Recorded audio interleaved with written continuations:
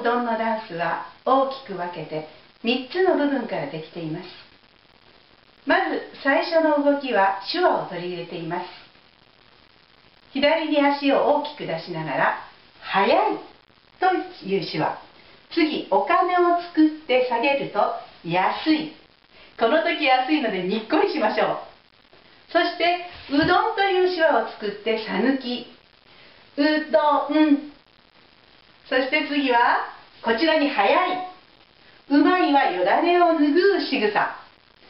さぬきうどん。これが一つ目の動作です。二つ目うどんを作る過程を表しています。こないで水入れで左右とやります。次にかき混ぜます。かき混ぜて。手をこのようにして3回。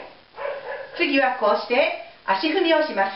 足踏み足踏み。次は伸ばします。綿棒を持って伸ばします。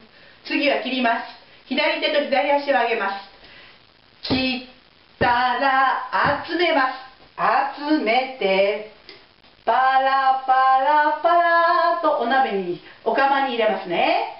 左足をクロスして釜で茹でたらさあ美味しいうどんの出来上がりです。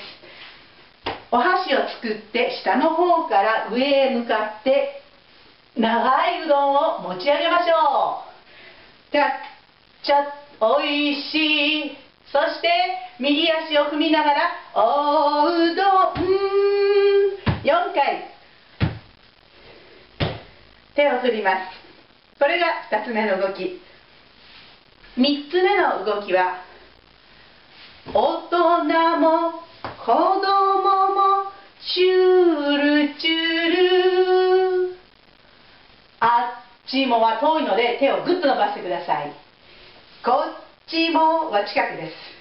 横を向いたままチュールチュール。月日が経ちますから手をこうして一周しましょう。今日も明日も朝あっても。秋は来ませんから一度顔を隠します。秋は横を向いて来ません。次のチュールチュールは一番下からです。チュールチュール。一番上までチュールチュール。3つの動きが完成しました。一番最後ソウルフードのところだけ少し動きが変わります。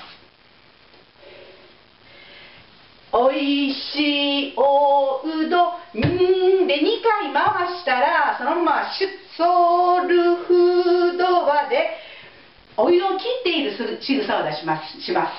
ちゃっちゃおうどんに3 4でまた「早い安い」と入ります。一番最後「さぬきうどん」で終わったらセリフです「おうどん」と手を突き上げと食べる仕草。そして「おっちゃんおうどんもいっぱいつか」と出します。地下はくださいの意味です。東の方では板と言いますので自分の使いやすい方で言ってください。動きに慣れたら曲に合わせて踊ってみましょう。